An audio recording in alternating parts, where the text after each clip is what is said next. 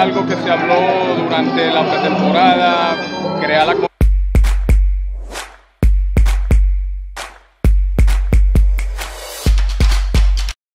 Amigos de Tiempo Extra RD, estamos aquí con Freddy Fermín.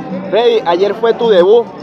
Eh, defensivamente luciste en la receptoría de 4-2, te fuiste con el, con el bate. ¿Cómo te sientes después de ese gran debut con los Leones del Caracas? No, mira, ante todo, gracias por la oportunidad. Bien contento, bien contento.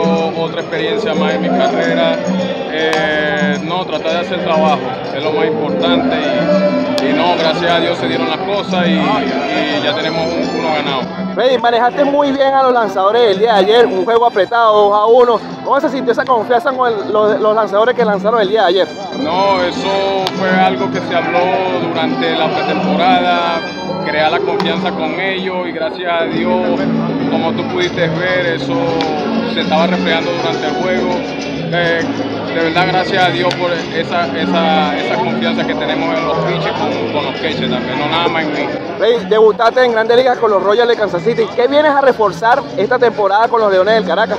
Nos, como dije antes, solamente tratar de hacer trabajo, crear una unión, eh, armonía en el equipo y tratar de llegar al objetivo. Se te vio mucha paciencia en el plato, consumes muchos lanzamientos. Se ve que eres un, un bateador disciplinado. Es, la característica del juego de Freddy Fermín. Sí, esa es la característica del- de Freddy Fermín. De verdad, es mi plan de hacer el trabajo en el home plate, escoger un buen picheo y, y tratar de hacer buen swing. ¿Hay algunas limitaciones por el equipo de Kansas City en tu actuación con los Leones de Caracas? No, hasta ahora no tengo ninguna novedad sobre eso y vamos a seguir jugando. Gracias. Gracias por vernos. Si te gustó este video, suscríbete al canal de Tiempo Extra RD. Activa la campanita para más contenido deportivo.